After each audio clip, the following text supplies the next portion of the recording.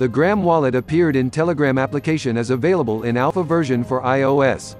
The official release reads, at the moment, he works in a test network, however, apparently, the release should take place soon.